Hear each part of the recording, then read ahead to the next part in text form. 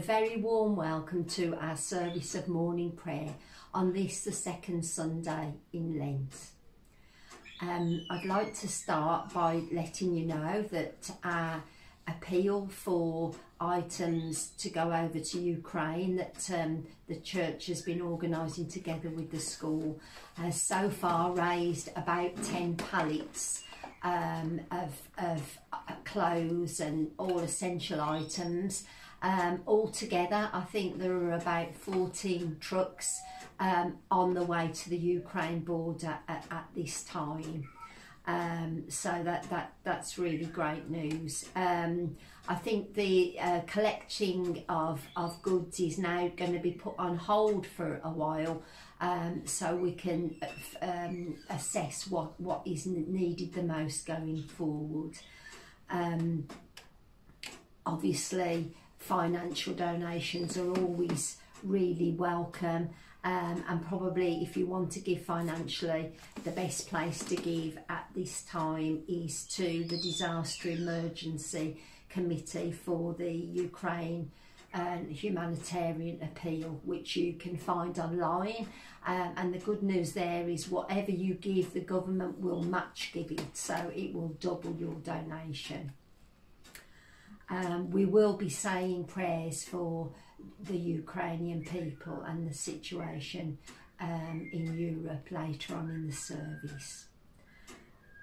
We've got a service again next week um, online at 10.30 and we also have a service in the school um, next Sunday at 10.30 which will be a communion service led by the Reverend Nick Ball. So we hope you can join us for one of those. So now we continue with our morning service and please join everything that's in bold. The, the service this morning, we're going to be looking at our core values. Um, and there's a picture here, it's on the front of your service sheet, which shows some graffiti on a wall.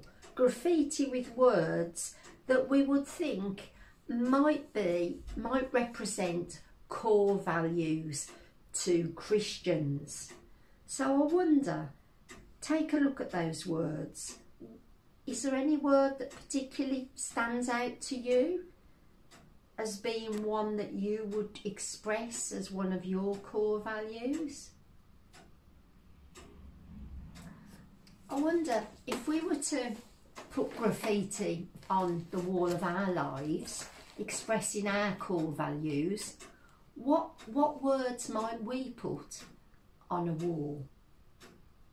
Would other people recognise us from our core values? Let's begin by opening with prayer. Please join me with our gathering prayer. Lord, you are our light and our salvation, our hope in times of fear. You protect us at times of danger and you hear our prayers. So, Lord, we seek your face and we trust in your goodness. Amen. And our prayer of confession.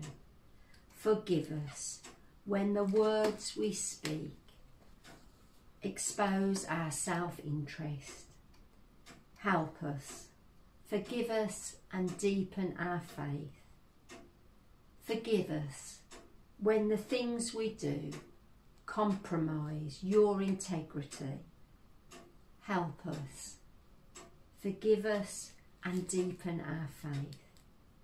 Forgive us when the way we use our resources clashes with your core values. Help us. Forgive us and deepen our faith for Christ's sake. Amen.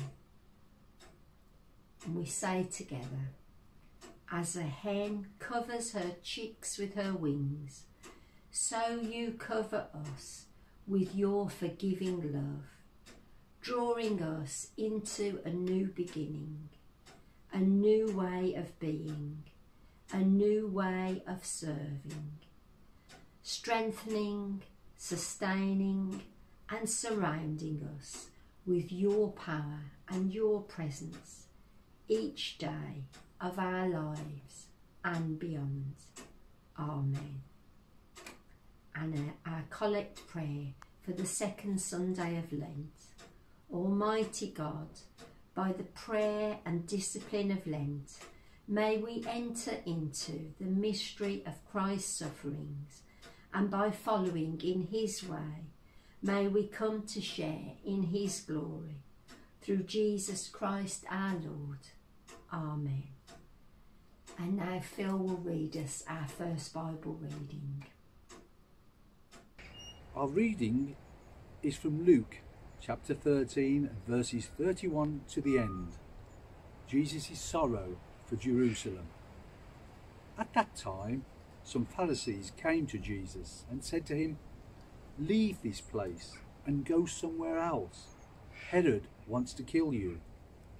He replied, Go tell that fox I will keep on driving out demons and healing people today and tomorrow, and on the third day I will reach my goal. In any case, I must press on today and tomorrow and the next day, for surely no prophet will die outside of Jerusalem. Jerusalem, Jerusalem, you who killed the prophets and stoned those who sent you, how often have I longed to gather your children together, as a hen gathers her chicks under her wings, and you were not willing. Look, your house is left to you desolate. I tell you, you will not see me again until you say, Blessed is he who comes in the name of the Lord. This is the word of the Lord. Thank you, Phil. In Chaucer's Canterbury Tales, the nun's priest tells the story of a cockerel and a fox. Chanticleer, the cockerel, has a dream that he is about to be in great danger. But his wife poo poos it as simply fear caused by his indigestion. She persuades him to ignore it but the wily fox comes upon the cockerel and flatters him by encouraging him to stretch out his neck and to sing. Thereupon, he seizes Chanticleer by the throat and runs off, chased by the whole village. But the cockerel is not so stupid as we might have thought. He encourages the fox to shout insults at his pursuers. Carried away by the thrill of the chase, he starts to taunt those chasing after him. Chanticleer seizes his chance and flutters onto the branch of a tree. Foxes are not as clever, nor chickens as stupid as some folk tales make them out to be. In our Gospel reading, Jesus pub- publicly calls Herod a fox. Herod is known for his cunning and his cruelty, but Jesus won't react to his threats. Jesus ignores the advice given to him to run and he continues on his course, a course which he knows will eventually lead him to the cross. Jesus is aware of God's bigger plan, a plan that Herod cannot thwart. Jesus although no doubt fearful, will not be swayed by that fear. His priority, his core value, is to carry out his Father's purpose. He has an appointment with his destiny in Jerusalem, and he will go there no matter what. When the writing's on the wall and we're faced with making our life decisions I wonder what are our core values? Would other people recognise in our lives what we would declare our core values to be? In our reading this morning, the Pharisees are unusually the good guys. They come to warn Jesus, but he insists that he must head towards Jerusalem. I'm reminded of the people who have told President Zelensky that he must flee Kiev to escape the bombardment. He refused to go, despite the risk. As the crisis in Ukraine has developed over the last couple of weeks, we've seen countless examples of those who refuse to leave their homes, choosing instead to remain and fight, to remain and report, to remain and bring aid to those in need. The shouted warnings from the Pharisees to Jesus echo down the ages. Get away from here. The enemy wants to kill you. We've seen how core values can affect behaviour. Some seek to grab what they can, while others are willing to sacrifice their comfort and their personal safety for the well-being and protection of others. Closer to home, the core values of, an, of our own nation have been called into question as those seeking sanctuary have been turned away. Back to our reading, and in the case of fire, some species of animals have developed ways of protecting their offspring. Those cleaning up after farm fires often come across the bodies of chickens scorched and blackened by the fire with live chicks under their wings. These birds have literally given their lives to protect their young. And so, back to Jesus.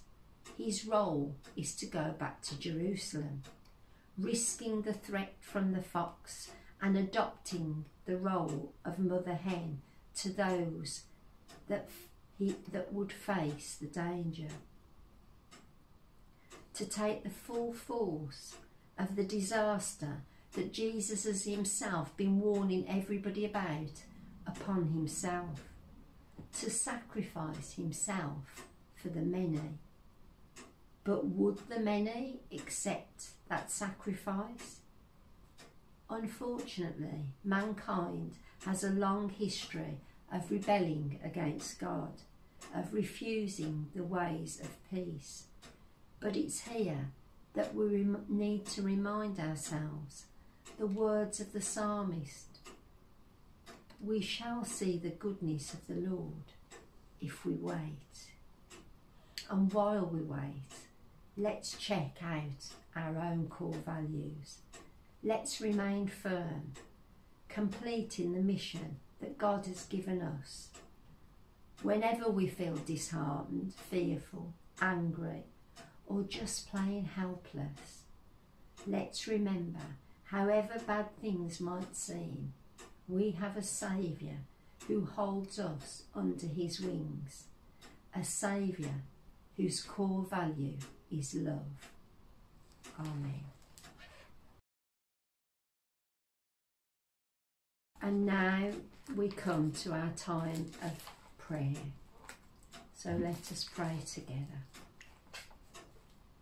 Save us, O Lord from the darkness all around us, from the darkness within our own hearts, from the noontide danger and the shadows of the night.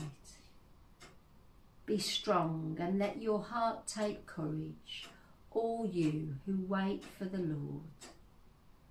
In all areas of unresolved conflict in our troubled world, where deep seated grievances and complex history collide, where shattered lives and destroyed cities are the evidence for our wars, and we feel helpless at so much brokenness.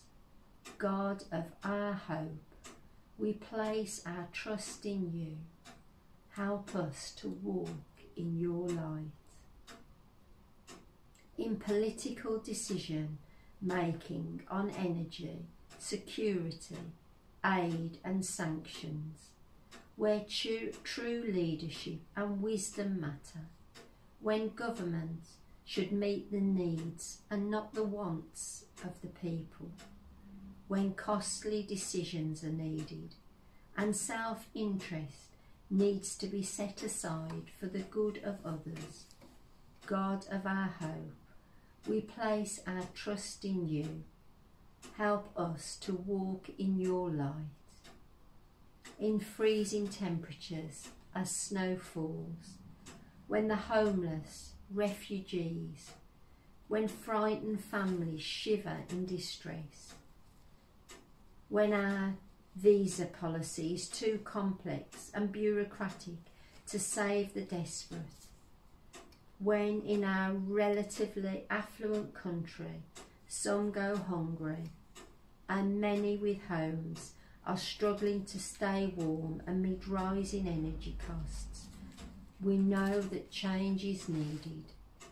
God of our hope, we place our trust in you. Help us to walk in your light.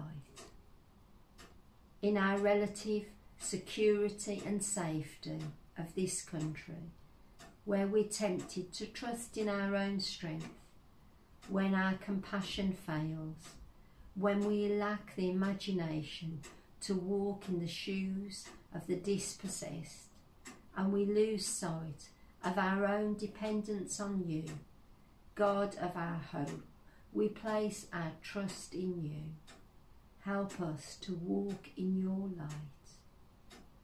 In the mountains of our possessions, when we spend, acquire, and accumulate things that we do not need, things that do not lead to life, when we're obsessed with more, bigger, and better, and we forget the needs of others, God of our hope, we place our trust in you. Help us to walk in your light. In the tangled conflicts of home, school, or work in which we're trapped, when we cannot give in and the desire to win is greater than our search for a resolution. Soften, soften our stubborn hearts, we pray. God of our hope, we place our trust in you. Help us to walk in your light. In the absence of safety and home, when refugees flee to the borders, in the pauses between the shelling, when a humanitarian crisis is building and families are torn, when we hear fresh the horrors of the news, God of our hope, we place our trust in you. Help us to walk in your light. In all our dreams and longings, where freedom itself is at stake, and we yearn for a better, fairer, kinder world. Teach us to seek your face and listen to your voice in all our ways and for all our days. God of our hope, we place our trust in you. Help us to walk in your light. Save us, O Lord, from the darkness all around us, from the darkness within our own hearts from the noontide danger and the shadows of the night. Be strong, let your heart take courage, all you who wait for the Lord. Amen. And now we bring our prayers together by saying together our Lord's Prayer. Our Father in heaven, hallowed be your name. Your kingdom come, your will be done, on earth as it is in heaven. Give us today our daily bread. Forgive us our sins as we forgive those who sin against us. Lead us not into temptation, but deliver us from evil. For the kingdom, the power, and the glory are yours, now and forever. Amen and we say together our sending out prayer. Teach me, Lord God, to live out my faith, to show courage when things are tough, to show love to those in need, and to be forgiving even when I am hurt. Help me to follow Jesus. Amen. And now for our blessing. The love of the Lord Jesus draw us to himself. The power of the Lord Jesus strengthen us in his service. And the joy of the Lord Jesus fill our hearts. And the blessing of God Almighty, the Father, Son, and Holy Spirit be among us and remain with us always. Amen.